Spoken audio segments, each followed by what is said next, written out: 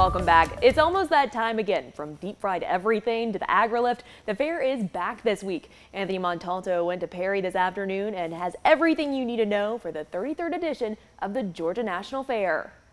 You know, it's been a few years since the most wonderful time of the year was in full force here in Paradise, the Georgia National Fair. But this year there are a few new things to keep in mind before you run over here and ride some rides and eat a funnel cake or three. So let's run through them.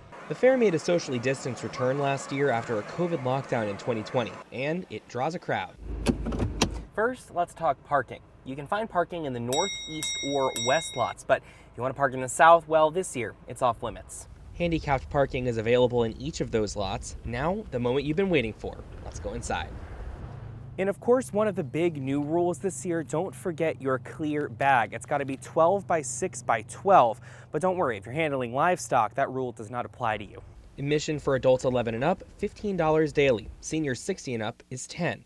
There's also a two-day pass that'll run you 25. I don't know about you all, but I am a total roller coaster junkie, so I'll be trading in my wristwatch for one of those ride bracelets. You can get them back here at the entrance to the Midway. Tickets cost a buck 25 each. The ride bands cost 25 apiece up until October 14th, the last day of the festival. They go up to 30. Now parents, this one's for you, so listen up. Tell your kids before you get here that if they get separated from you, they can get help here at the clock tower. It's also a good meeting spot for any grown-ups.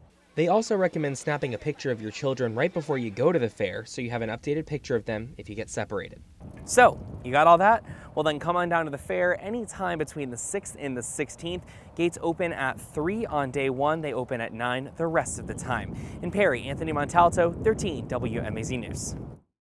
Awesome job, Anthony. One more note for this year, teens under 17 can't go into the fair alone after 5 p.m. They'll need a parent or guardian with them.